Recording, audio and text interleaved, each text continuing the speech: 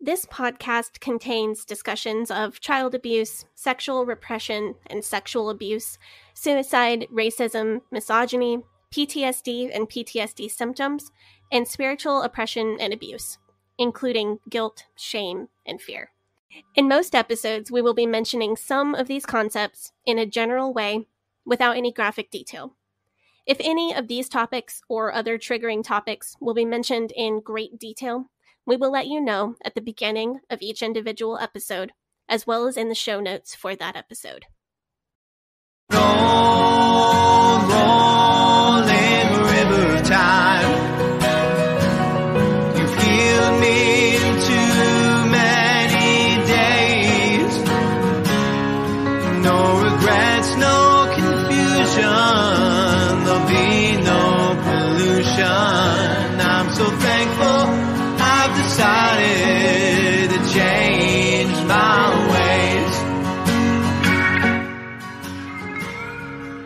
Welcome back to the Leaving Eden podcast. I am feeling great. I am feeling healthy. I am feeling fancy. I am feeling fresh. Oh, so fresh. Oh, so clean. Does, I'm sorry, does this have to do with the, the spring? Is that what we're referencing here? Yes, because Okay. spring, spring is a time of cleaning. Well, if you were ever IFB, you would know that actually spring is the time for programs. Yes, yes, yes. This is the time for spring programs, and the Leaving Eden podcast is no exception. My name is Gavriel HaCohen, and I am here with my co host, Sadie Carpenter, and we are here to talk about Sadie's life in the Independent Fundamental Baptist cult. We are here to warn people about the dangers of this cult, other cults, and the real and present threat that groups like this pose to society as a whole. We seek to promote freedom of mind, freedom of thought, and freedom of religion. And so, without further ado, let's get into these things. Let's get into spring programs. But before we do that, I have to ask Sadie one question. Yes. What is a spring program? Oh. so You thought it was going somewhere else with it. I have no idea what it is. It's just something that you brought up. it, it's just words. I feel like spring program it's one of those things like um like soul winning or bus calling. Uh, it's it's such a piece of jargon that I say, "Oh, do you know about this thing?" and you're like, "What the heck is that?" Yeah. So the spring program is a series of special Sundays, and it's almost always in March. Uh, could also be April, where IFB churches push even harder than normal to have visitors come to church and to convert those visitors into new members. So it is church programming, Mhm. but it's in the spring. Yep, Spring program. yep, Got it. yep. That's all you need to know. We're done with our episode. That's all I need to. Okay, that's it. this has been the Leaving Eden podcast. There's nothing else to talk about here. Um, Nope, that's it. no, so when I sat down to outline this episode, um, I wanted to kind of get my thoughts in order because this is one this is not an episode that can be written chronologically. This is something like it's concept it's a concept. Uh, and I sat down to try to to get an outline together and I found out very quickly that a spring program is so hard to describe. And I'm definitely blaming about 50% of that to the fact that I've completely blocked out a large subset of traumatic memories from childhood. oh no. Yeah, this one does, does have some, this one has some childhood trauma, like the kind that I can laugh about now. Uh, it's sprinkled throughout this. But okay. I think the other half of my difficulty in providing you with a with a good description comes from the fact that this is maybe one of the most niche IFB things of all niche IFB things. And it it feels really difficult to translate something from so deep within that world into our current reality. I feel like I'm trying to describe something from another dimension. So, like, if you were uh, like a regular Christian, um, or if you were a Catholic, or if you were a, um, I don't know, like uh, if you were a Lutheran or you were a, a Methodist or something, you would have no idea what a spring program was. Most likely not. No. Not unless someone from your church had had had some contact with somebody from an IFB church and the concept had been passed to you from within the IFB. Interesting. So this is like even if you were Southern Baptist or something, would you know what a spring program was? So the Southern Baptist might do something called like a an individual SBC church might do something that they would call a spring program, but it would not be the same thing. It wouldn't be defining that the the, the term would be used in a different way. Okay. So like nobody does it the way the IFB does it except for the IFB. So this is really some weird cult right here. Right. And it's it's not only that it's just the IFB, it's pretty much just the IFB f- subset that followed Jack Hyles. Right. Okay. Because every uh, like Hyles Camp ministry, basically every IFB church where their pastor graduated from Hyles Anderson is basically intended to be a clone, like mm-hmm. a facsimile of First Baptist Church of Hammond. Yes, they all went very much by the book. And when I say by the book, I mean by the literal book. Uh, the book being the Hyles Church Manual, which is the book that Hyles wrote about exactly how to run a church. so definitely by the book. So to understand where the concept of the spring program came from or how Hyles made it what it was, what it is, you'd have to look back at the social changes and the the social pressures that allowed Jack Hyles to be the person that he was to begin with. In the Lester Roloff episode, and in other episodes, we talked about evangelists. So throughout the 20s, the 30s, the 40s, evangelists would rent out huge civic auditoriums and they would travel around and preach. And their main goal was to have people get saved and then also to get people who were already saved to become better Christians. And back in those days, people would go to revival meetings, I guess just because they were bored uh, we are talking about back before most families had a television set. So I guess people just did what they could for entertainment, and Christianity was so prevalent in the United States that it wasn't seen as odd to just go to a revival meeting. So it was like the revivals that we saw in like Sheffey, but like 80 years later. Yes. This is just like a, a updated, like modern, or, or you know, I, I wouldn't say modern, but like 20s and 30s version of that. Yes, it's a it's a transition point between that and Christian conferences now, like pastor school or youth conference. Okay, okay, that makes perfect sense to me. Right, like these these things are all a progression of things that are related. Well, these people who went to revival meetings, they would get converted by these really fire and brimstone preachers. So then they tended to go to more fire and brimstone churches when they became churchgoers. So these people would end up in Southern Baptist churches uh, before the 1950s when the Southern Baptists, quote unquote, went liberal and stopped, you know, yelling so much and telling people they were going to hell. And they could also end up in churches like IFB churches that were more fire and brimstone because that's who the that's what the preacher who converted them was like. What I found out researching this episode is that the idea of the spring program actually comes from these revival meetings because these revival evangelists wanted to have more and more people come to their meetings. And this could be for an altruistic reason, like they really believed that they were helping people go to heaven and they wanted more people to get saved so they could go to heaven.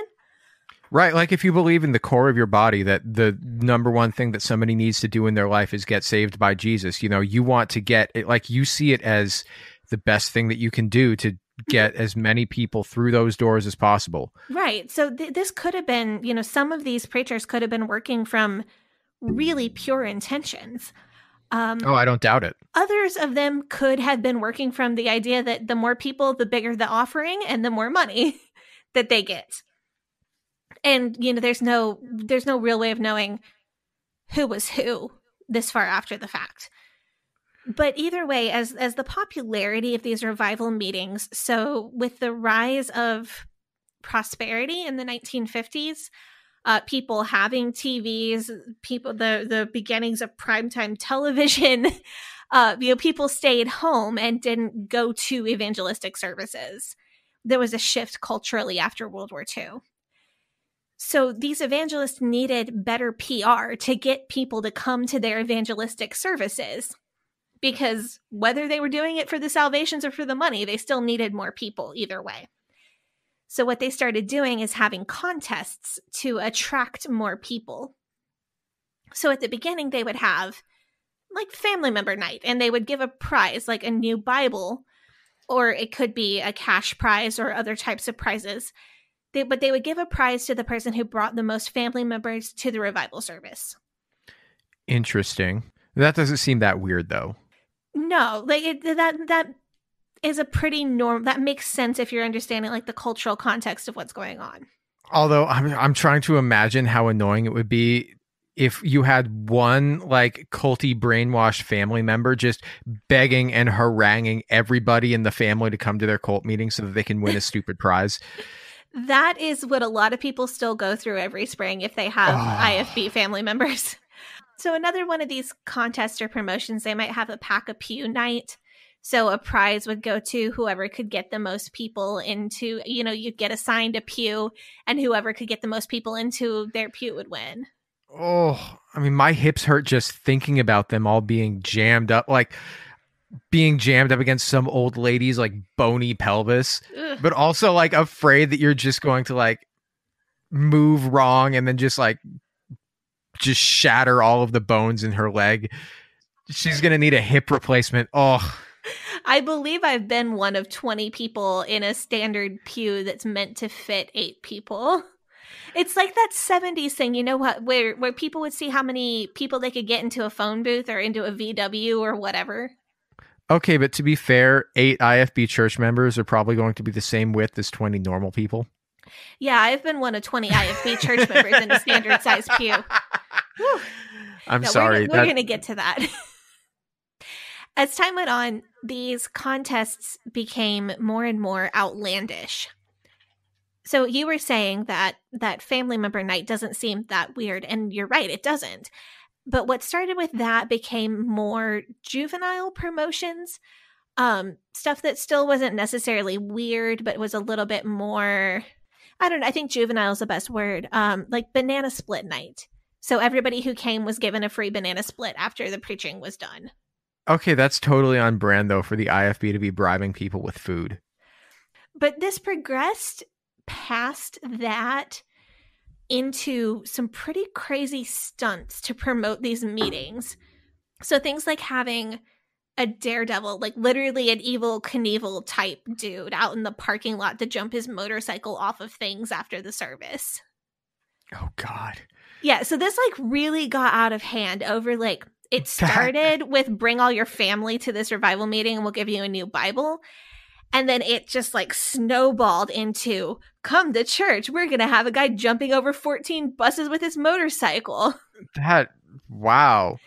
Yeah, it definitely got off the rails at some point.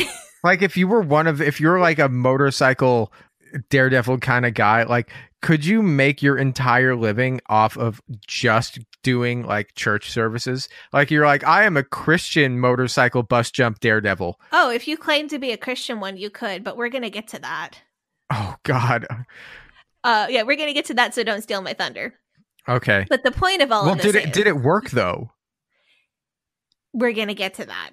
Okay. The point is that Jack Hyles grew up in Texas. So he grew up with these hyper evangelistic, hyper promoted revival meetings being a very real and a very normal part of his life because he grew up in Texas in the middle of the Depression. So, like, poor people who went to these meetings, that was like, that was him, that was his family. And we've talked before about Jack Hyles and his gift for crowd management, how he seemed to like instinctively understand how to be his own hype man, his own PR man. And a lot of this he may have picked up from these traveling evangelists who literally made a career out of bribing people to come to church. And it did work. It So it worked. much. Yeah, it absolutely worked. Wow. Okay. And he Hyles would have seen this working for other people. And this is probably where he got the idea. So he took this concept, he ritualized it because for a man who hated Catholics, that man loved ritual, but he applied it to his church in Hammond. I think I think this was kind of his his pattern of behavior throughout his life. He made a repeatable step by step process out of everything that he did. And the ritualized form of these church related PR stunts that Hyles came up with, he called it spring programs and fall programs. So, what he did was he had four or five weeks set aside in the spring and four or five weeks in the fall. Usually it would be in March or April and then in October or November, but it could vary on exactly when you did it. Very often they would set it up where the end of the spring program was Easter Sunday. Uh, a lot of times the end of this fall program would be Thanksgiving, or the end of the fall program would be the week of Halloween so they could have a fall festival. But over these four or five weeks, there would be multiple different contests and promotions, and it was all in an effort to meet certain church wide goals. So the goals are almost always based around the number of people saved, the number of people baptized, the number of people visiting the church, or uh, total attendance numbers. It was always something countable, some kind of number centric numerical goal. So, for a smaller church in those four or five weeks, you would have a goal like we want to see 500 people saved, 50 people baptized, and have a gross attendance of 350 people on the last week of our program. And I think it's important to note as well that these are always stretch goals. The idea is for the pastor to set a goal that is reachable but will take a lot of work. like someone who's currently running a nine minute mile that wants to get themselves down to an eight minute mile. But often pastors will get a little ahead of themselves and they will set goals that are not really attainable. Like uh, someone who's running a nine minute mile who wants to get down to a six minute mile by the end of this month. Ugh. Yeah. So you can get like that they were supposed to set goals that were reachable, but sometimes pastors get a little in their head about what's actually reachable. And these goals are meant to be achieved in a couple different ways. So, first, there would be church wide goals with church wide rewards. And these were often, again, kind of back to the juvenile thing like if the church makes its attendance goal on this particular Sunday, the pastor will take a pie to the face on the platform. I guess it's for the people that are already in the church. But if you're not like like I'm not going to go to somebody's church service just to see some guy get a pie in the face. Yeah, but the IFB think you are. Um, the other the, way, I feel like the IFB are like, oh well, you the people who know the pastor will be motivated to. Okay, so it's for Right. them. It's not for me. right? It, it's a motivation thing. But the other way that these goals were meant to be achieved was by pitting church members head to head against each other in like a Hunger Games type situation in which they competed against each other for points and attempted to win prizes. So this is like the IFB Thunderdome, and so people are getting really into it. Remember when we talked about the Valentine banquet? Yes. Specifically, how some churches get the banquet right and it's actually pretty fun. And then some churches get it wrong and everybody hates it but feels obligated to do it. Yes. Okay. This is very much the same concept as far as the spring program. Personally, as a kid, I dreaded these contests, but that was because I was a child and I had no chance of actually winning, and that made me mad because I'm an extremely competitive person. Some people got super competitive about these these contests. Some people got too competitive and took it way too seriously. And then some people hated it and like kind of made like a show like they were, oh yeah, I'm totally participating, but actually didn't do anything because they hated these BS competitions. So this is another like one of those situations, just like the Valentine's banquet. Like some people hated it, some people didn't mind it, some people were jerks and ruined it for other people. So you know what this reminds me of? This is like last week we talked about Jack Hyles, and he had this sermon called "Duty," and Shit! Now you got me started. okay, well, who's the immature one now? and it was all okay. I'm just going to talk past you because Sadie clearly has no maturity, even though she is about to give birth to a child, a literal child. I'm wondering about that child's welfare. Um, clearly, uh, anyway, uh, he had this sermon called "Duty," which was all about, which was all about how even if you hate something, you still have an obligation to do it.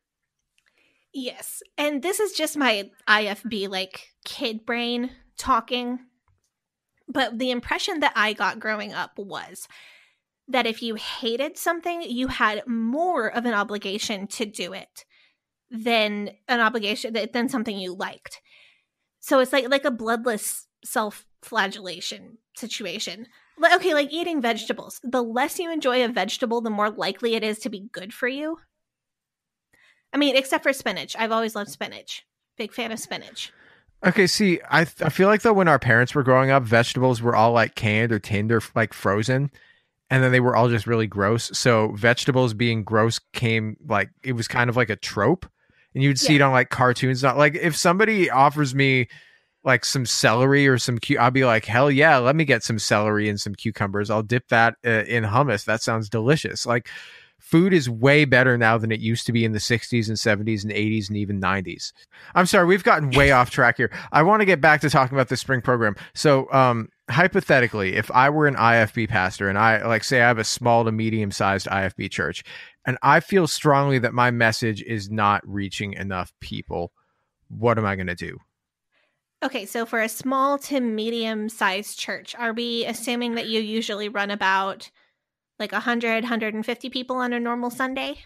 Uh, say maybe like a little better than that, maybe like 200. Okay, is that including bus kids? I Let's I say let's say you run 200, so you've got 125 in Sunday morning service and 75 bus kids. Um okay. Is is that like normal or is that that is that's not pretty good. small. Yeah, that's that's like medium for an IFB church. There's okay? So I'm doing pretty well. Yeah, like many many IFB churches run like 30 or 40 people on a good day. Oh, okay. So that's Yeah. why you got. That's why the pastors are so broke because they don't have any tithe money because they don't have enough people. Oh, okay, because that makes like the sense. yeah, talk about like the bottom falling out of your your like money making scheme as a church. That's there's there's no money. yeah, There just there's nothing. Yeah.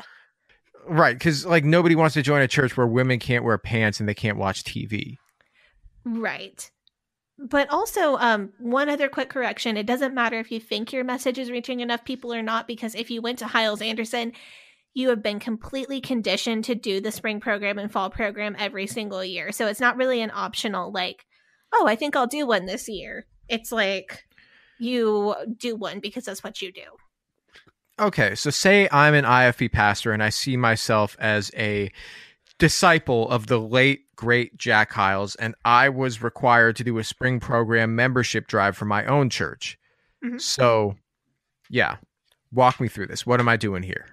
So you are going to want to create a four to five week program of different promotions for each week of those four or five weeks to get people to come to church and get them to bring visitors. And then you're going to incentivize people not just with uh, fun themed Sundays, but also with a contest that promises fantastic prizes to the church member or church members who win.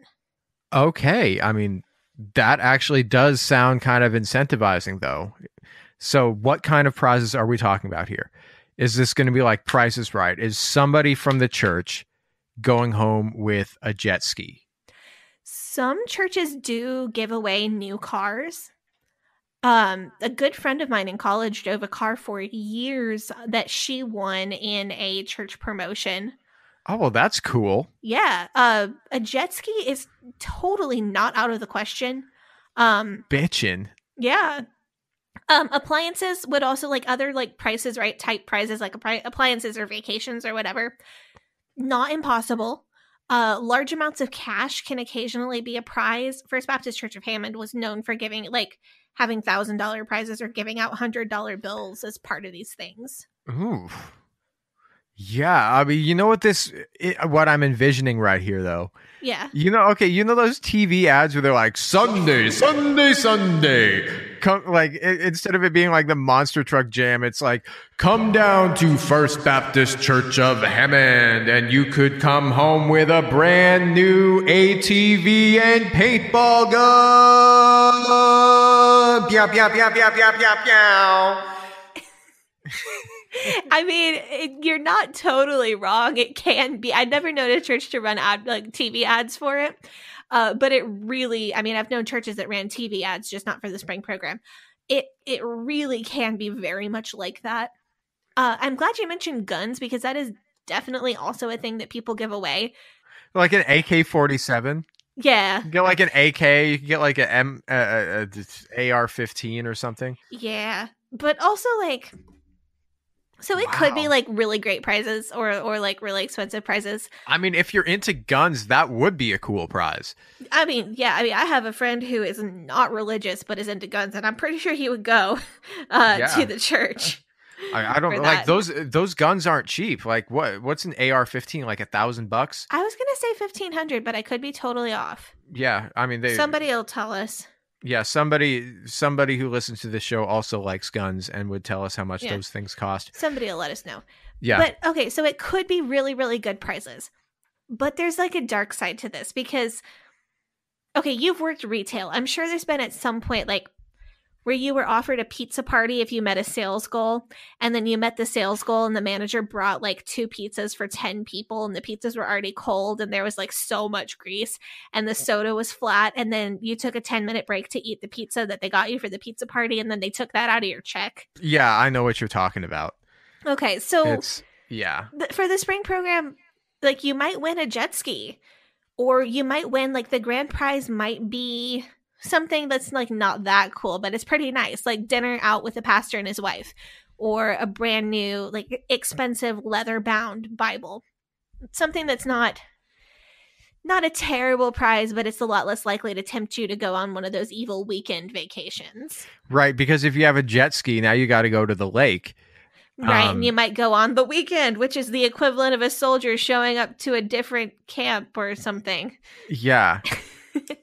I mean, I personally prefer the jet ski though to uh I mean, like as nice as dinner at the Ponderosa buffet with the pastor might be. yeah. Uh, I mean, at my church growing up, I think I remembered them taking people to Ruth's Chris. So definitely a, a few, a few dozen steps above Ponderosa. Okay, so that's like an actually nice restaurant though. Yeah, like that's like a, I mean, but that's my church. The church that I went to, you have to remember my dad was my pastor, and my dad is a, a step above most IFB people in terms of having a brain Yeah. and, and you know a sense of class and style. And, And- sophistication, Yes, taste. quite taste. So I'm sure there are a lot of churches where this dinner out with a pastor and his wife is like. I don't know, crappy chain restaurant or, or Ponderosa. I've ste- I've eaten at a steakhouse like twice in my life. It's it, I mean, you know, growing up my fam like my family just we didn't eat a lot of meat, so oh, that's not the time. Yeah. that's why. Yeah. Right. I mean, the, you know, dinner out at like a steak, like that's that's an occasion, you know. Even right. if it's you, like an, actually a, a nice prize.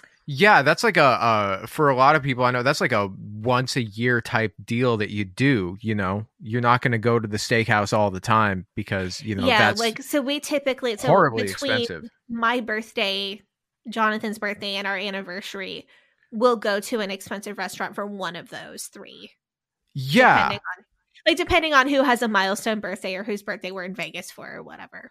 So that is actually like a really nice prize that somebody might want. And you know what? If you are an IFB church member, you would actually probably want to spend a lot of time with your pastor and you know getting in with your like having a one-on-one dinner with your pastor. That's a big deal. It really That is. is that is a big deal. Okay, so if you're if you're a member of this cult, okay, so that would actually be like a pretty good prize that you could win. right. It's a not a, jet nice ski, but it's a prize. You know, think a nice meal with somebody who you really admire. That's what you're winning right here. That sounds like a great time. Yeah, especially if your pastor is more like a, a celebrity pastor. If you have a, a larger church, you would never ever otherwise have the chance to have dinner with somebody like Jack Hyles. No. So that's pretty special. Yeah, that is that is pretty special. Okay. And like so they win how do they win this? So do you just get like the most people to come to church with you or or what? So these contests can be as simple as like whoever brings the most visitors over the four weeks period, or they can have a lot of complicated rules.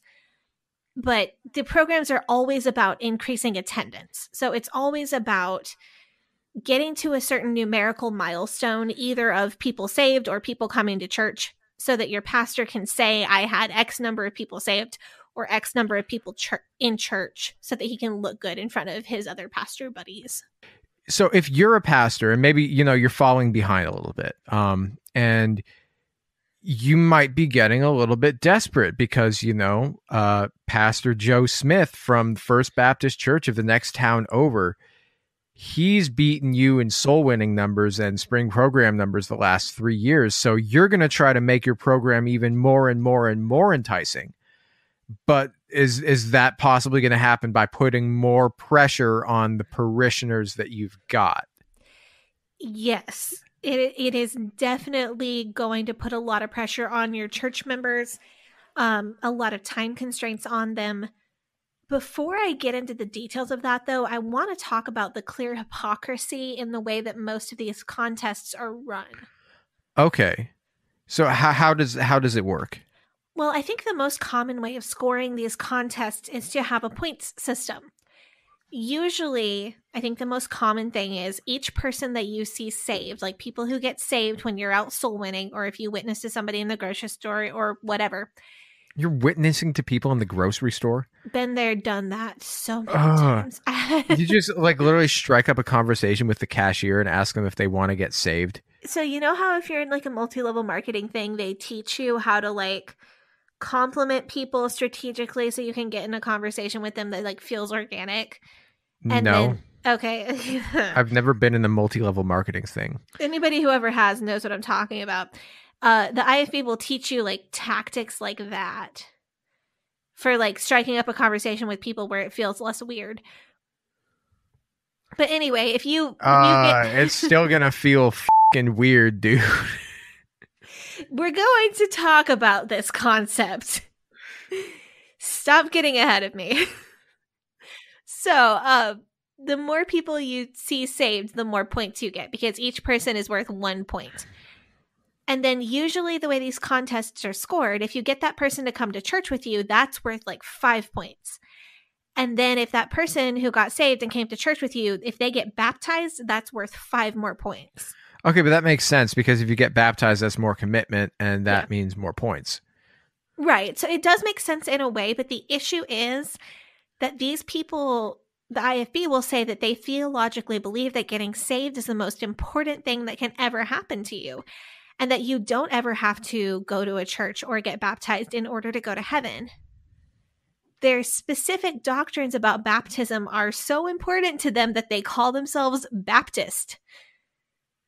But because of the way these points are broken down, okay, if I have 49 people get saved over the course of the spring program, but you get five people to come to church and get baptized, you still win the spring program.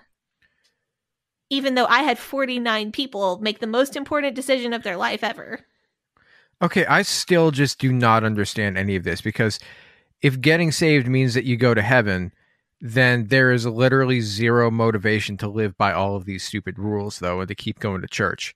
Yeah, but if you're not willing to give up your movies and your pop music and your beer for Jesus, were you ever really saved to begin with? Because if you're really saved, wouldn't you like have the Holy Spirit in your heart and that would make you just voluntarily want to give up all those things? So, Sadie, did you see the Fyre Fest documentary? I saw both the Netflix and the Hulu ones. So, just because a guy is willing to do what he's got to do to get the water to the people doesn't mean that he wanted to.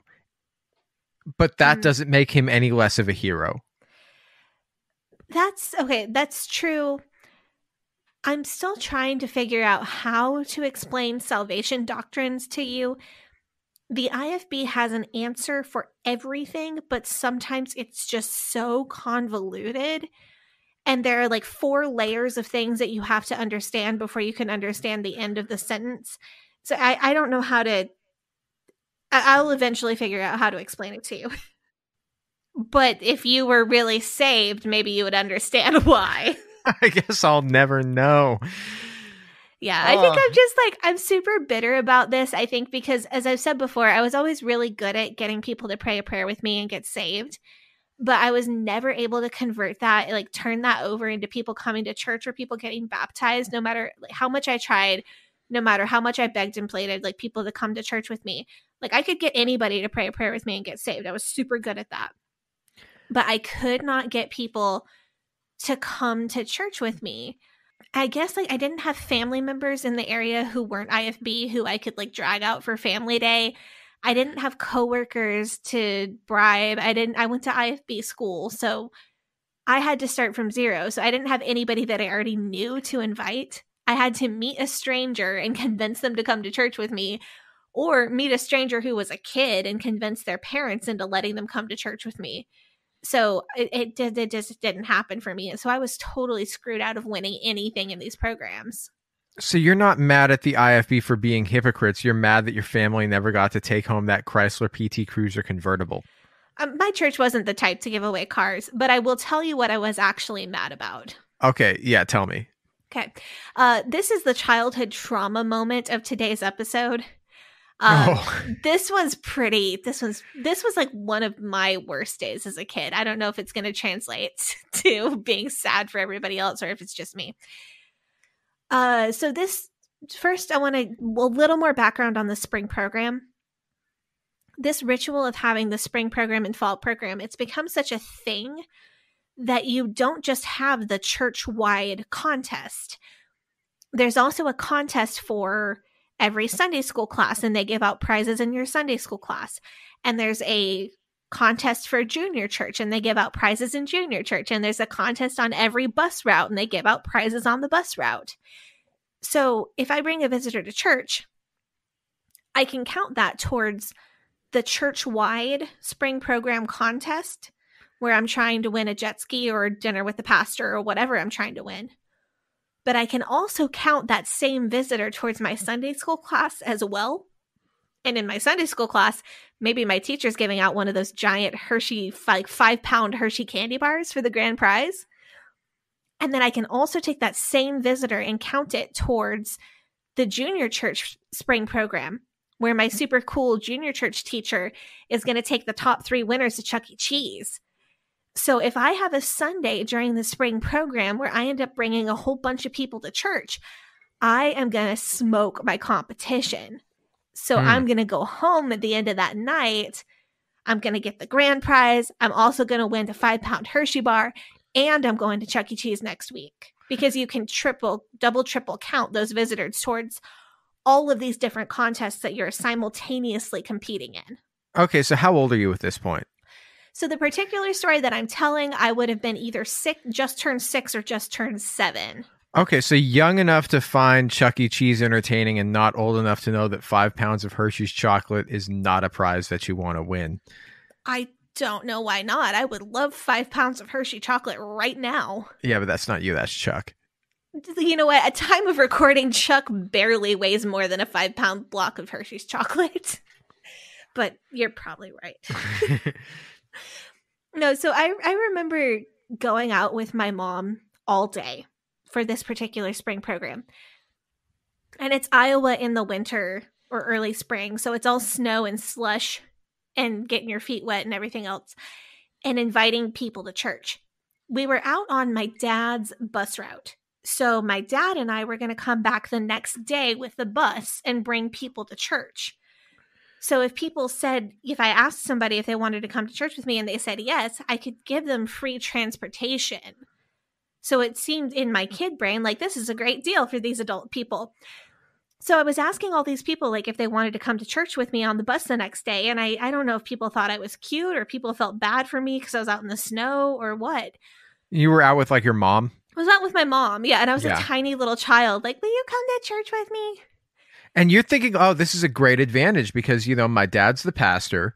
He's got the bus. This is when my dad was an assistant pastor, but yeah, we oh, had okay. he had the bus. He's got the bus. Okay, make it super convenient for these people. They they just got to come out of their door the next morning and get on the bus, and that's it. Get on the bus, go to church. Okay, that's all we got to do. And I'm the Hershey's chocolate Chuck E. Cheese is mine. Yes. So at the end of the day, I had 14 people, and most Ooh. of them were adults who had promised, promised, promised to come to church with me the next day.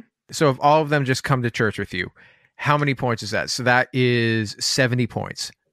Worst case scenario, that puts you're like going strong. Gonna you might win. win everything. Yeah. Yeah.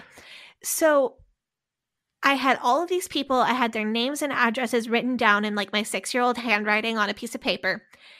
And I was ready to like sweep the spring program the next day. And so you envision yourself like hand in hand with your parents, hand in hand with your mom. Church doors swung open and an army of newly saved good Christians behind you marching in to onward Christian soldiers. Yep. So in my mind, I was the hero at the end of every sports movie ever. I was already hearing the theme song in my head. I was already Yep. gonna I was gonna pull off the greatest victory in the history of, stri- of spring programs. And I was raised by like my dad and my grandpa. My my grandpa being a World War II veteran, and my upbringing, even the parts that weren't super controlled by the IFB, my upbringing was extremely focused on integrity and honesty. Like the worst thing you could do in my house growing up was tell a lie. My parents would forgive us. If we got in trouble for other stuff, they would be merciful. But the thing that they would show no mercy on was lying or breaking your word. If you did something bad and then you lied about it, you'd get double the punishment. Like whatever the punish the normal punishment for what you did was, my parents would double it if you lied about it. They were super super super strict on that one thing you do if you say you're going to do something, you do it. No matter what. So at this age as a little tiny child, I did not have the concept of promising that you would do something and then not doing it. I had literally never considered that an adult would say that they would do something like come to church with me the next day and then not follow through with that. So I'm getting where this is going. So yeah, so a lot of these people so you've got 14 people that promised to come. that yeah. promised. So how many show you get 10, you get 5. Zero. none of them. None of them. Not one of them. Not a single one. Wow. Yeah, and because it's on my dad's bus route, so I was the one. So there was like some adult with me, but I was the person going up to every door on my little handwritten list and knocking on the door and trying to wake these people up. What time is it? Is it like, Like 7 seven thirty on a Sunday morning. Oh, So I'm realizing. So I would have gotten up at five in the morning for this as a child. Like I was so excited about this. And I, like as the bus drives to each individual address, I'm like knocking on the door and realizing that like oh that person's not going to come. So like mi- this dream of winning the spring program is slipping away from me in like a pu- very public and very slow manner. are you crying? Oh, oh my god, yeah. crying. Oh Yeah, my god. like- oh. It's like this That's is like one of my worst childhood traumas. um like I personally think this is why I was never able to get visitors to come to church with me in my later like teenage and early adult IFB years. I think this event damaged my confidence so much and hurt me so deeply that I never believed anyone again when they said that they would come to church with me. Like did you okay so like did you like get on the bus and you said i got 14 people to say that they would come like is that what you did? You're like who else was on the bus with you? Uh, it would have been my my dad and other bus kids that were like regular bus kids that came to church with us all the time, and other bus workers. so were you bragging to the other bus kids? No, because like I was a bus worker, I wasn't a bus kid. okay Like, I well were you bragging to the other bus workers? Yeah, like not bragging, but just like excited because like this. I wasn't seeing this as like, oh look how oh, look well, how good I did. Like look. What a good person I am. It was like, oh, Oh. look, ah. God has blessed me and I'm going to win the spring program.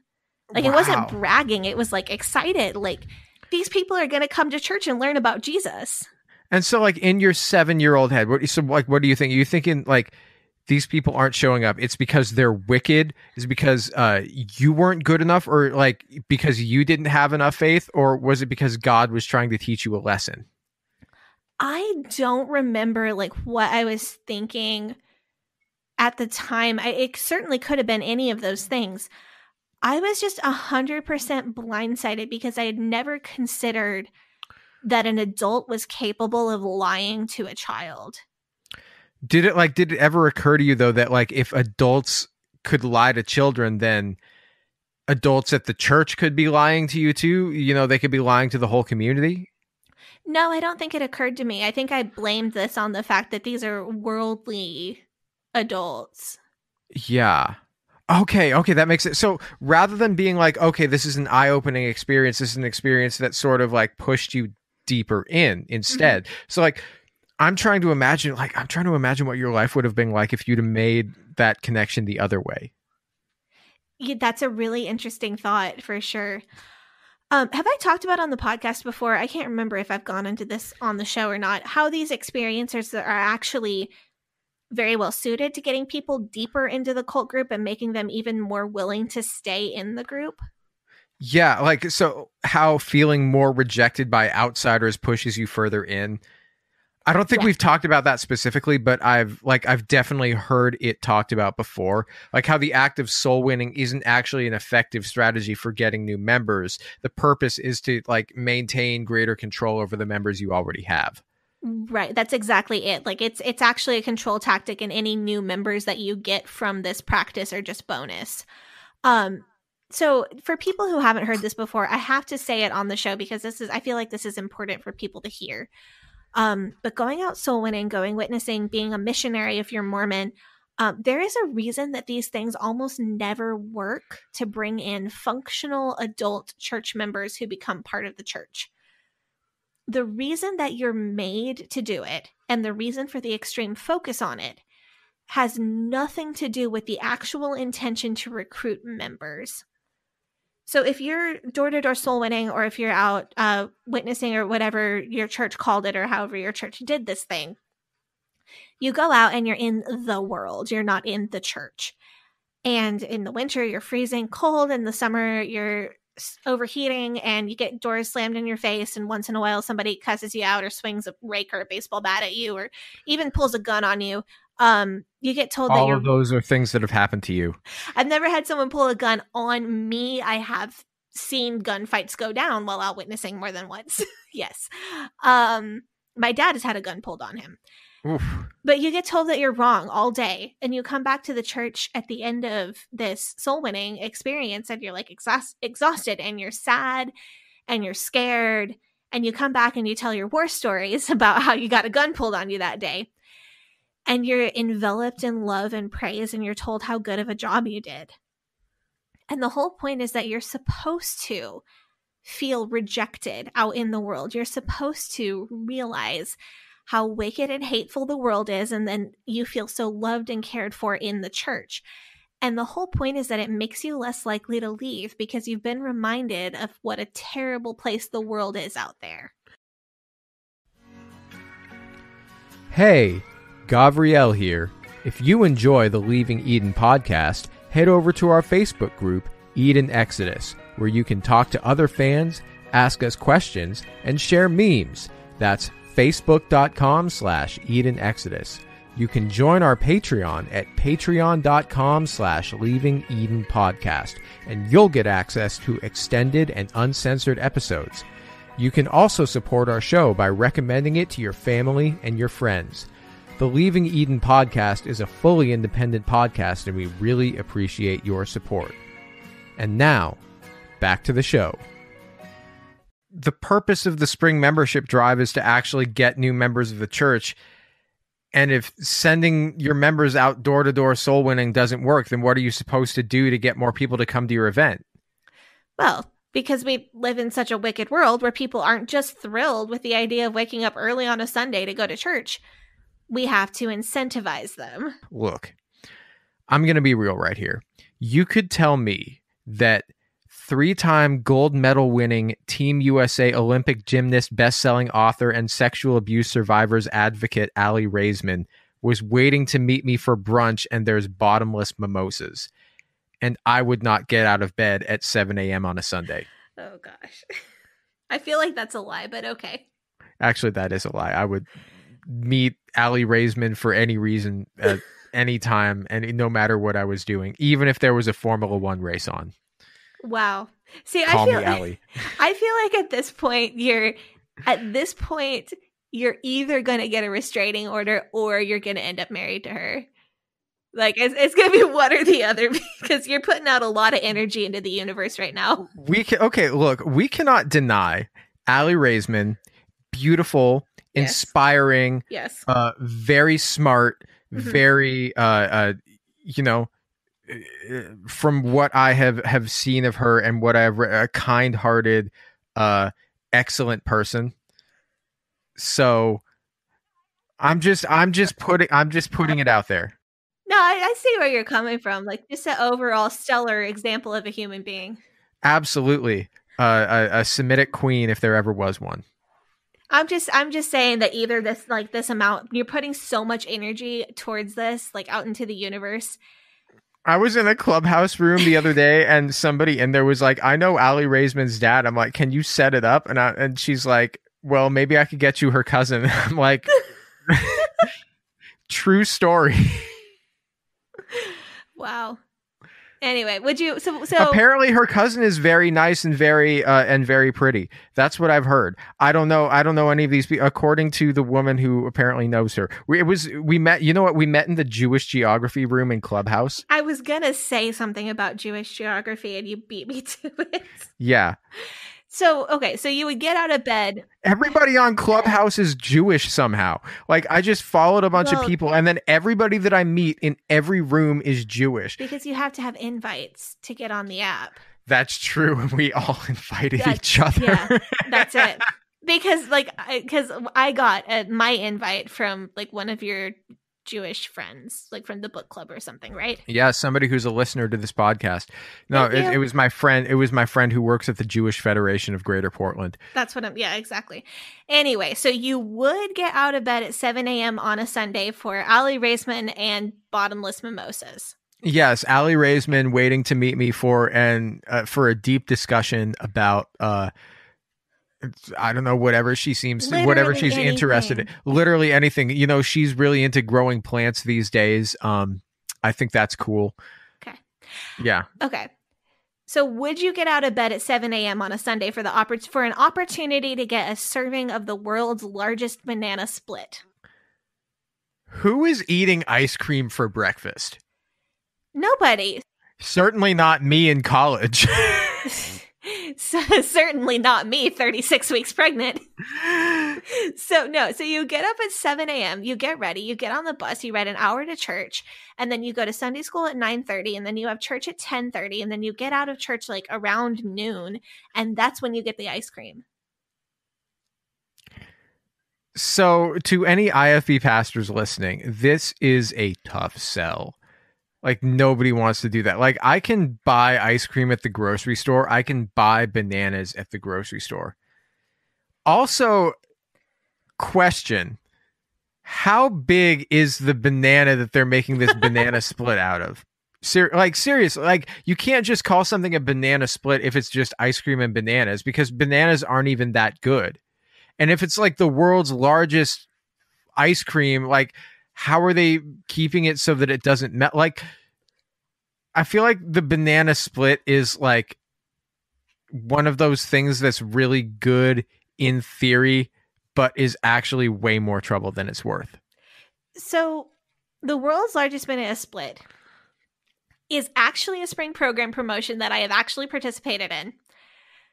To be fair, it was for the bus kids, so it was a little bit easier to get a kid excited about that than a, a, a full adult. Yeah, but you don't get to eat the world's largest banana split. You get a serving of the world's. It's just like you can have like a regular scoop of ice cream. Like I think the thing was you get to see the world's largest banana split. Okay, but here's the thing. I got it. Like, so is it like a bunch of ice cream and then just like 20 bananas, like cut in half, like down the side of it?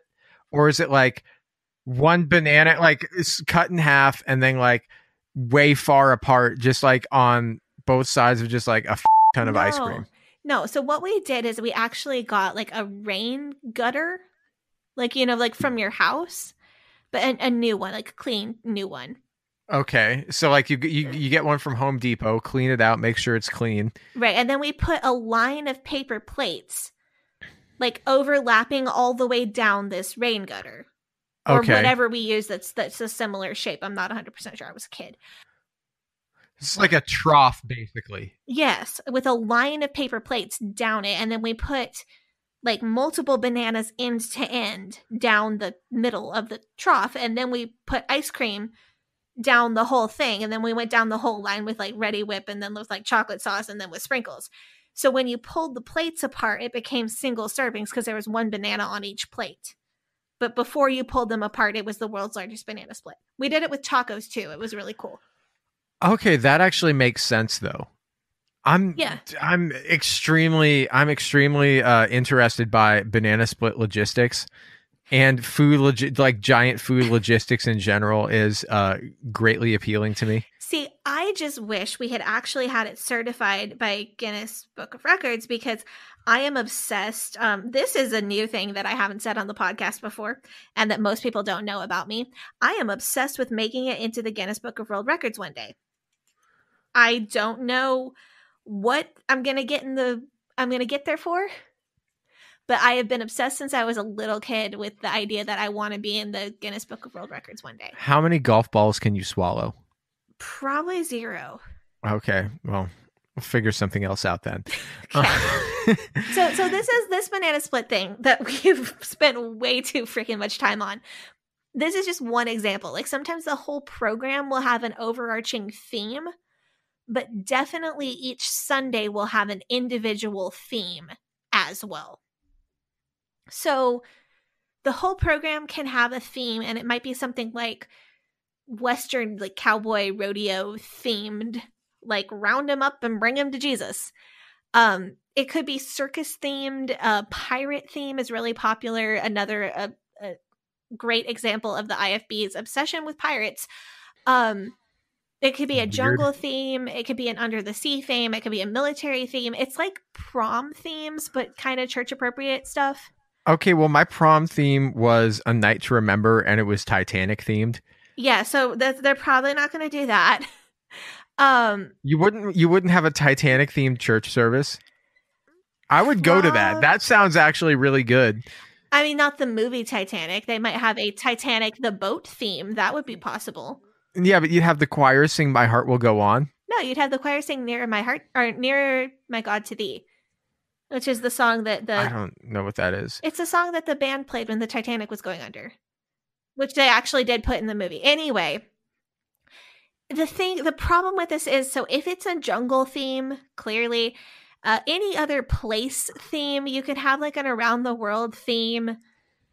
And if they do that, there is definitely going to be something that's borderline racist. Um, or just straight up racist. or just straight up right borderline racist if you're lucky I'm imagining You know what I'm imagining right now? I'm imagining Jack Schaap and a dashiki. oh i've seen that i am Oh God! am like 99% Are there pictures? sure oh yeah because he had that ghana missions team so he used to dress up in like ghana outfits to go on stage so i'm Oh sure my you can find a picture of that somewhere oh, That's oh there's so many white people in like traditional african clothing at first baptist church of hammond all the time that's atrocious. Oh yeah, you could. I'm sure you can. I'm pretty sure. Remember that video of the Viva La Vida Jack Schaap that I was telling you about that somebody made? Yes. I'm pretty sure that is one of the pictures in there.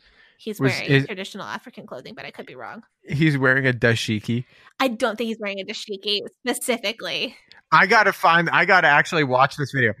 You sent me this video and I like put it on. You and I'm watched like just part of it, and then you didn't watch the whole Like, thing. anyway, I got the general g- gist of it. yeah. So so anyway, if it's a place theme, they're definitely gonna do like Moroccan themed or something, and it's gonna be almost racist or like Are they definitely smoke hookah? racist. No, Okay. sadly, that would make it so much better. Yeah, no, I would go to church if I could sit in the back and smoke hookah.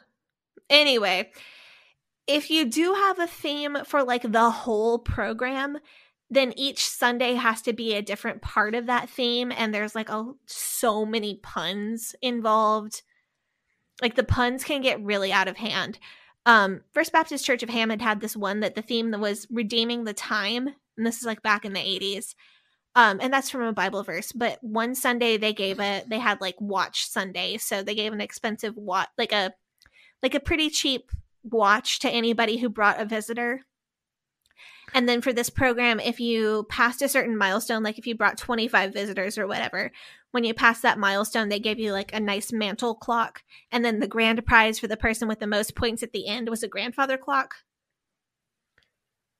Okay, that's weird. Yeah, I mean it's that was like First Baptist Church's spring program, fall program in the eighties. Okay, like I think okay, so I think that grandfather clocks are kind of cool. But also I'm really into watches.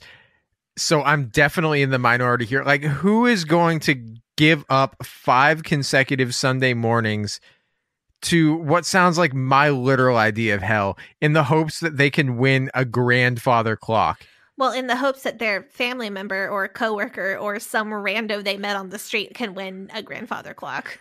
I am like I'm trying to imagine like somebody knocking on my door and saying, "Have you heard the good news?" And then they say that I, like as I'm preparing to slam the door in their face, they shut up. "But wait, you could win a grandfather clock." But wait, there's more. There's more. Like this is uh, this is just so like game show.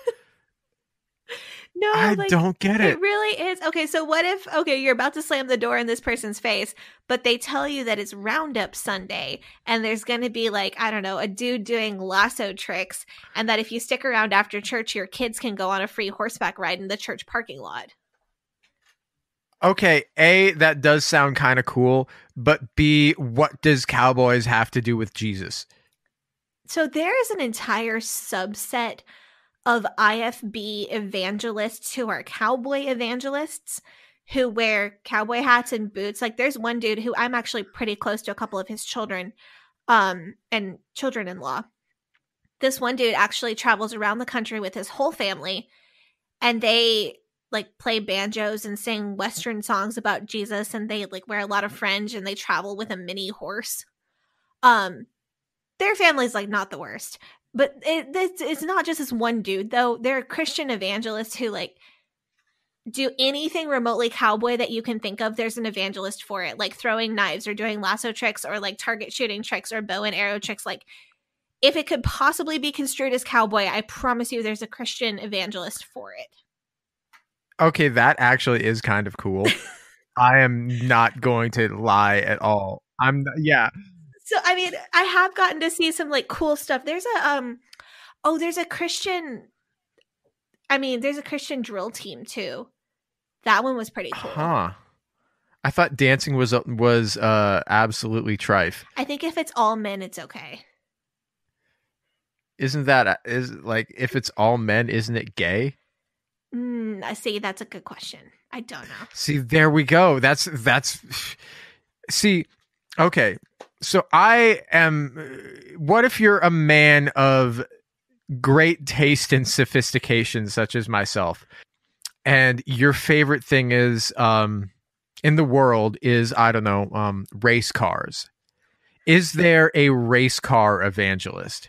so i can't name one but i am a hundred percent sure that there would have to be one uh, because there is there is a christian evangelist or christian like ifb group for everything For everything. Because there's cow okay, there's cowboys, there's a Christian drill team that I saw one year at youth conference and it was like so they did that thing where they like throw the guns and it was like super dramatic. Uh that was a Jack Schaap thing.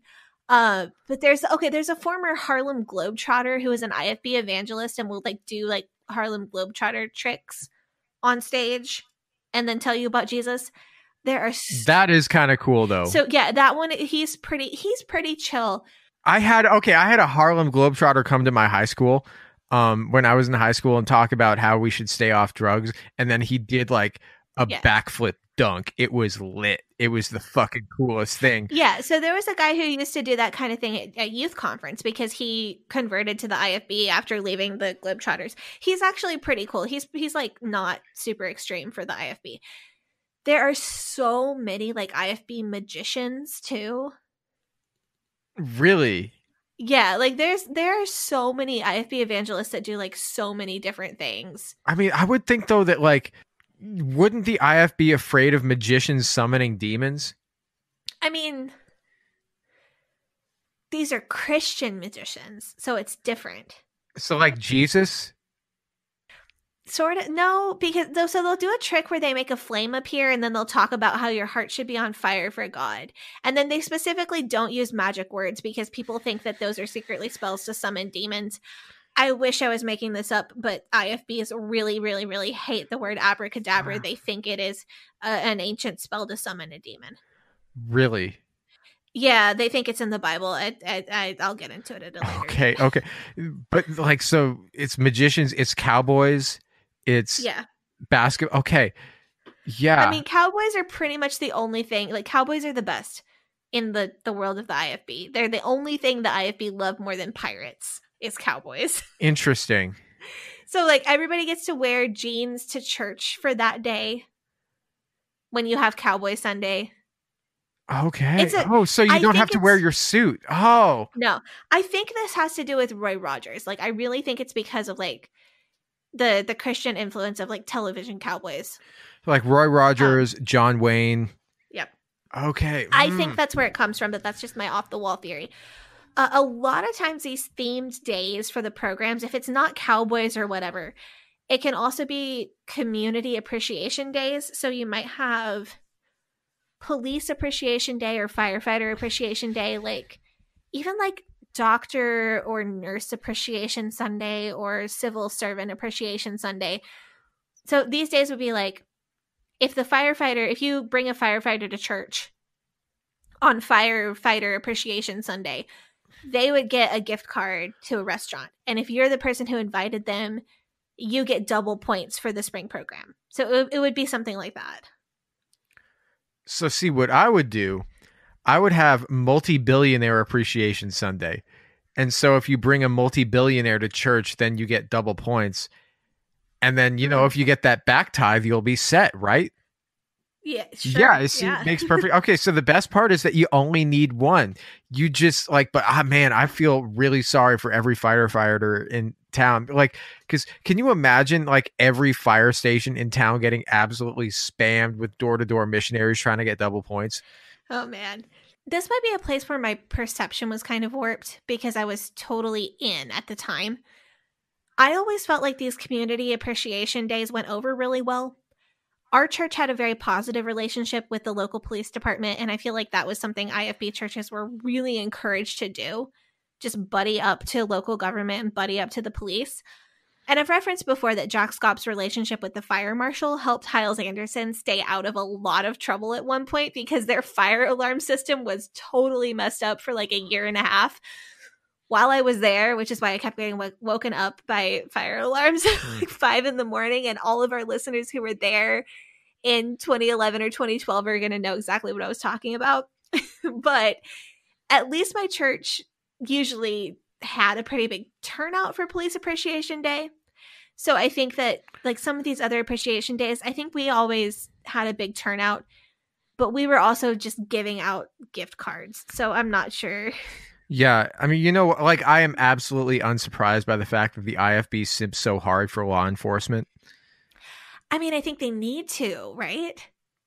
Like there's the very obvious reason that if you have a sexual assault case at your church or involving someone who's on staff at your church or at your school, or if somebody calls the cops on your school because you spank children there, you're going to need to go into that situation from the position of strength of having the local law enforcement having a good opinion of you and a good relationship with your church. But there's also like the other side of it. If somebody calls the cops because you were knocking on their door, you have that established relationship with the cops because they know who you are. If you need a little grace period on replacing the fire extinguishers in the church because you can't really afford it, the fire department is more likely to forget to check off on their inspection sheet that you have to replace the fire extinguishers. And the fire department thing also comes in handy because your church or your school might be horrendously over capacity uh, for some services, or they might just flagrantly disregard ADA requirements, and you need somebody who's going to overlook those things. So you're telling me that police enforce laws arbitrarily based on their personal biases and who they have a good relationship with?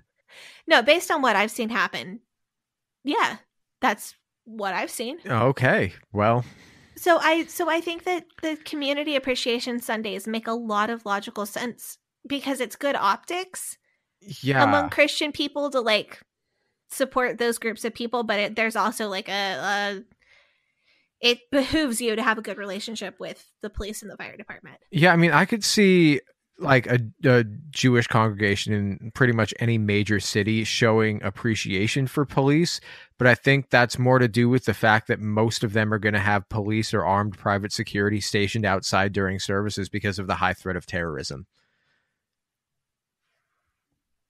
IFB churches or Baptist churches don't have to have that same level of security. Like we don't have the danger of terrorism, but in the South and in places where there are really big churches, police have to be at the entrance and the exit of parking lots to direct traffic during church. So there's that benefit as well. Um, there do have to be so on First Baptist Church of Hammond property, they need cops and private security on the property every Sunday morning just to traffic direct the buses and the cars and get people in and out. Yeah. I don't know. It just seems weird to me that you would have themed church services. I mean, I would think like that the theme of church should be Jesus yeah, I mean, it is kind of weird. yeah. I, I wish I had better words to explain this, but the vibe is different definitely different on these days. It feels like putting on a sh- it feels like having company over like when you're a little kid. And where this goes off the rails is I think some of the more extreme promotions that people can throw to get more people to come to church there are definitely weirder things than Police Appreciation Sunday for sure. Yeah, uh, so we've mentioned this before, like you know, churches doing a raffle for like an AR-15 or an AK-47 or something, which seemed a bit odd to me, but like that's not out of the realm of what I expected. But like, what are we talking about? Like, really, things getting off the rails for promotions? So, giving away a gun could absolutely happen in an IFB church. Um, I'm sure that it has. Oh yeah, uh, I'm I'm 100 percent sure it has. Um, the Daredevil thing, like an Evel Knievel knockoff dude jumping his motorcycle over a bus in the parking lot after church. How would you feel about like a Christian Daredevil guy? So, I get uh, so like I get up at 7 a.m. I put on my best suit. I get on an old school bus. I go to this church service. I sit through this long church service but at the end I might get to see a guy dressed as Jesus jump a dirt bike through flaming hoops. Well, okay, not dressed as Jesus because he's probably in like a standard like coverall jumpsuit kind of deal, but it also has a cross on it. and he before he jumps, he's going to give a speech about Jesus and how he might die doing this, but he's going to go to heaven. So here's the question: Is this going to be outside in the parking lot? almost certainly. Some churches will rent an auditorium with like a large ground floor where that kind of thing can be done or rent a dirt bike track or if they're in a city that has a small time racetrack they might rent that out. But those places can be hard to get on a sunday and and also it costs money.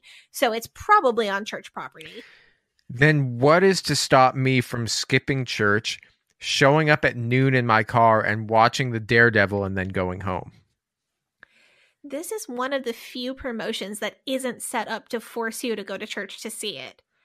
Most of these promotions, they try to set it up so you would have to be in the service to get whatever it is that they're giving out. So it's like when you agree to go on a free vacation, but then they make you sit through a timeshare sales pitch. Oh, sh- did you just okay? Okay, did you just figure out why I get triggered by timeshare pitches? I did not know that you get uh, triggered by timeshare pitches, but that's hilarious. yeah, that. Wow. I, so, sometimes this show is like there it's like free therapy yeah and and i think i just put together like a major piece of like oh that's why i get super really? triggered by timeshares that's really funny oh wow. Yeah. Oh wow. Yeah. Okay. Okay. No that would make a lot of sense. No you know what this is like? So say we have like a Jim Jones style cult, you know, say we have the Jim Jones cult, the Jonestown, you know, Jim Jones is saying to advisors, you know, his closest inner circle, you know, he's like saying, the government's coming. We've got to do this mass suicide. Uh, so I've got a bunch of cyanide and I've got a bunch of Kool Aid. Uh, let's do this thing. And then his advisor looks at him and says, like, you know, Jim, I don't think people are going to go for it. And then Jim's like, well, why not? Why don't you think they're going to go for it? They moved all the way out here. And then his visor says, you know, I just don't think people really like Kool Aid. That's what this whole thing is. Okay, wait. So are you saying like if you drink this Kool Aid, you can see a guy jump over a bus with a motorcycle? no, no, no, no, no. Like the motor, so the motorcycle is the Kool Aid, the IFB is the cyanide. I'm sorry. I'm trying to make my brain work with your analogy, Okay, but I feel like it's going the wrong direction. okay, so like nobody, nobody wants to join the IFB because IFB life sucks, right? We know this. You, yeah, Oh. you're super, you're super broke. Uh, you can't do anything, and you got to dress all weird. The IFB, yeah, the IFB sucks. The. IFB is the sign. Yeah, so like doing a cowboy motorcycle ice cream church service isn't going to make the IFB suck any less. Oh, It's ju- I, yeah. oh, I get it now. I get it now. Yeah. Okay. The IFB is the cyanide. The, yeah, The the cowboy motorcycle ice cream church is the Kool Aid. Oh, okay. yeah. I get it. I get it. I mean, Sorry. honestly, honestly, I am completely baffled that these dumb gimmicks actually help recruit any new church members. Nobody sticks around. Well, then what's the point of having this membership drive? So part of the part of this is that it's not really a membership drive. This is just meant to get big numbers of people saved and numbers of people baptized and people bribed or begged or coerced or tricked into coming to church for just those like 4 or 5 weeks. So you have really good numbers that your pastor can brag on at the next pastor school it's like once in a decade that somebody comes during the spring program as a visitor and actually sticks around and becomes part of the church. It's way, it's not really meant to, or it's not effective in actually growing your church. What it's effective in doing is boosting morale and exerting control and putting up really big numbers for one or two Sundays in the year. In theory, you're supposed to go out and talk to the people who came as visitors and then try to harass them into becoming church members. But in my experience, that was just long, draining work for very little success. Does it raise any money though? No, I mean, if anything, these these things they lose money because somebody has to pay for the prizes. And IFB churches don't even have any money. No, they don't. It's just one of those things How that you do because Jack Hyles told you to do it. Who is paying for these like motorcycle jumpers then? I mean, the church budget church budget is, but uh, they're robbing Peter to pay Paul because that's how these that's how most IFB churches function. So they have no mo- like so so they're okay so they're just spending all of their money on mo- like but it, it- it's one of those things. It's like okay, this is the same concept as Thursday night soul winning. Thursday night nighttime soul winning in general, knocking on people's doors at night, is not a smart idea. It's not effective. It exhausts your most faithful members and it alienates your less faithful members. But Jack Hyles said to do it, so you just keep doing it forever. right and I guess you can't be there like if you're out on Thursday night like that's like prime time TV the Thursday night slot is like the slot. Pretty sure Superstore is on on Thursday night. I don't know I I I like Superstore. Go ahead. Yeah, no, but like, you know, at least during this time, you know, what was like Thursday night TV, like that was like the that was like the lineup, you know, your primo lineup would be Thursday night. Ah, Right. So it's not or basketball's on or something or or there's going to be foot there's going to be football on on Thursday night. People are going to be home. right. It's not this this Thursday night soul winning thing like just like the spring program. It's not effective and it's not really intended to be effective in getting people to come to church. It's meant to be effective in controlling the members that you do have and once in a while bringing someone to church. That's wild. Ugh. Yeah, but but it's like it's a th- it's a thing though. Like Hyles said, this is the way to build a church with ten thousand members, like I have, a church with twenty thousand members, like I have. And this is how you, do it. This is how you do it. Do what You I just say. grind and grind and grind. Okay, wow. I don't know. This whole thing just feels so predatory to me and so wrong. But in honor of the late great Jack Hyles, Sadie and I have decided that we are going to do our own spring program. Which will God, hopefully be. Oh, so now Gabi feels super um guilty about even calling it a spring program. I do no, I do because you you were like, you know what, we should do a membership drive or uh, not a membership. We should do like a. like a like a promotion. Are we are we asking? We're essentially we're. You know what? I do it every day. I like every time we do an episode, I ask our listeners to recommend our show to other friends. The only difference now is that we're actually offering prizes to people who do it. Right. So like the like the reason we have listeners is because our listeners have recommended us to other people. And as much as we, you know, joke and and, and say stupid things on this podcast, uh we recognize that and we wouldn't be where we are without our listeners. We haven't promoted ourselves nearly as effectively as you, our listeners, have. That's true. And we're super thankful for you've given us a platform because you like what we're doing. And that's extremely validating to us. So we are we're gonna call it a spring program because it's fun and silly. Um we are gonna have a little contest to see, you know, for to reward those people who are already promoting us to other people. Right. And so basically, the whole idea is that if you recommend us to your friends, then we will give you prizes. Yeah. Right. Instead of the good news of Jesus, spread the good news of the Leaving Eden, Leaving Eden podcast. I feel I, I feel so sleazy about this, but also like you know what, you're free But to people are already doing this. I've seen one of our listeners has posted about us in like three groups this week, and I've seen it. And like, I don't think she knows. So I don't think she knows that I'm in the Facebook groups. And I'm like, oh my gosh, she's talking about me all the time. And if you've already done it, then save those. Like sh- save all of the Oh, yeah. examples of anything that you've already done because you know we're yeah. So So this contest, yeah, tell Uh, us the rules. the contest will run from the time this episode drops until this time next week. So it's Monday to Monday, one week. And all of this is going to be able to be done from a cell phone. Um, there is no, we are never going to ask you to knock on somebody's door. Unless you want and, to. Uh, unless you, yeah, unless you want to. We're never going to tell you to. but we're gonna, we're gonna, you know, let you do it all from your phone because COVID safety and all that. Right. Yeah. Uh so what what are the rules to this? So here's how you can earn points. If you recommend us to another individual one on one, this could be through a text message, through Facebook Messenger, through a postcard, you could send a carrier pigeon. Any way that you like to recommend us to another person, you can earn one point for every person that you recommend us to.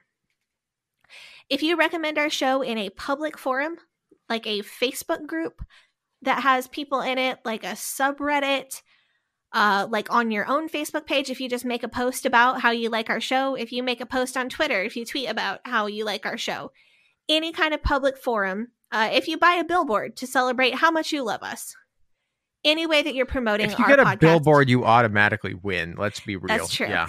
No, any way that you promote us to more than one person at a time, you are, will earn five points. Yeah. keep track of your points at the end of the week. Send us an email to leavingedenpod at gmail.com and let us know how many points you racked up. Let us know that you recommended us to seven people one on one and you posted twice in Facebook groups. So that's 17 points because five points for each post in the Facebook group and one point for each person you recommended us to. Yeah. Oh, also you can I mean, you can send it to me on social media. Don't send it to Sadie because if you're hearing this, then she has like probably a two week old child and has no Yes. time.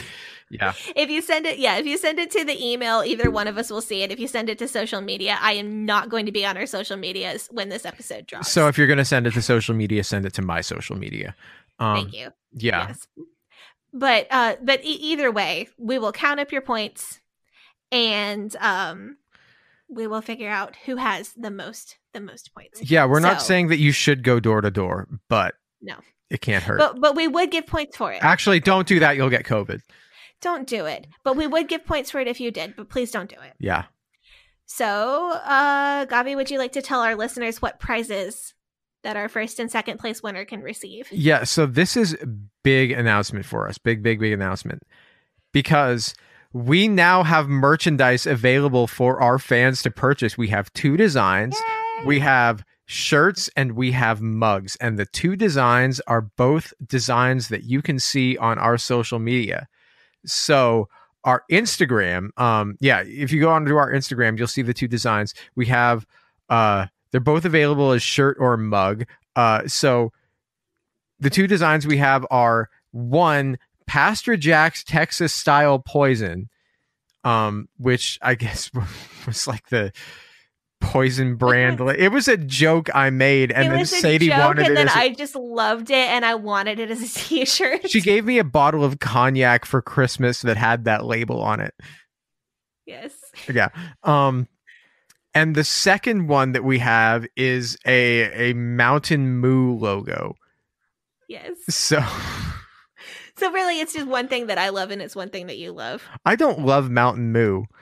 Um, yeah. I'm pretty sure you do. You mentioned it on literally. I love talking about it's the funniest thing.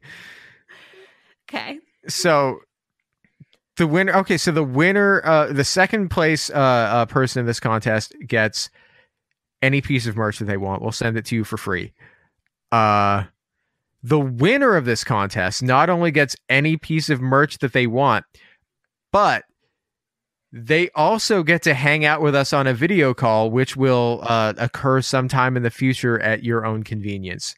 That's gonna be, and that's gonna be fun. If you have any questions that you want to ask us, or if you just want to hang out with the two of us for 30 minutes to an hour Yes. for fun, because we're fun. Uh, also, I have an announcement uh, about how committed I am to the fans of this show. Oh, you do? Yes, I do. Okay. In fact, I am so committed to our fans that, well, as you remember, I said in the Facebook group that when we got to 2,000 downloads in a week, I would drink a glass of Mountain Moo on Instagram Live. And we, uh, unfortunately for me, got to 2,000 downloads in a week. So I'm going to have to be drinking that glass of Mountain Moo and I am going to drink it on Instagram Live this Saturday. So check social media for the specific time, but it will happen. And that's in promotion of our spring program. You know, rather than having me or Sadie take a pie in the face, it's going to be me drinking a glass of Mountain Moo. And obviously, we're recording this episode a few weeks in advance because by the time that this airs, I will have a baby. But I'm really hoping that I can be on that Instagram live. I might just be able to be on there for a couple minutes. I'm not sure how how Yeah. random my baby will be. But I I am so ready to see you drink that Mountain Moo. So that'll probably be the only social media that I do. We're Right going to announce the winners over social media. We're not going to announce them on uh on an episode because all of these episodes are way pre-recorded. So yeah, I want to not have to record an episode for a couple weeks. But you're gonna drink some Mountain Moo on on Instagram Live, and that's for everybody. And uh, I'm pretty excited about getting Yeah. to see that. Do you think that Mountain Moo would be a good TikTok challenge? I mean, I think it would. Okay, so I'll drink Mountain Moo on IG Live and then I'll make it into a TikTok and put it onto the podcast TikTok. Um, yeah. And we will all be looking forward to that very Yeah, much. Okay. And on that note, I think it's time for us to wrap up this week's episode. Uh, do you have anything else that you want to say? No, this one has been a real roller coaster. It's been something. Childhood trauma, Christian cowboys. My gosh. Yeah. Oh, uh, what I wanted to say is that uh, next week in part two of our spring program episode, uh, we are going to talk about some of the wildest themed days that I've seen. We're going to tell one of my absolute favorite um, IFB stories in general, and then uh, we're also going to talk about the big day and what is a big day. Okay, then. Well, you'll just have to tune in for that one. and It's, there's less childhood trauma in the next one. it's going to be really good. Uh, we promise. Uh, so until then, you can find our podcast on uh, Facebook, Instagram, um, at uh, and uh, TikTok at Leaving Eden Podcast and on Twitter at Leaving Eden Pod. Sadie, do you want to plug your social? Uh, yep, you can follow me on Instagram at Sadie Carpenter Music, or on Twitter at Hell Yes Sadie, or on TikTok at Sadie Carpenter One. All right, then. And you can follow me on Facebook, Instagram, Twitter, and Clubhouse, all of them the same at G A V R I E L H A C O H E N.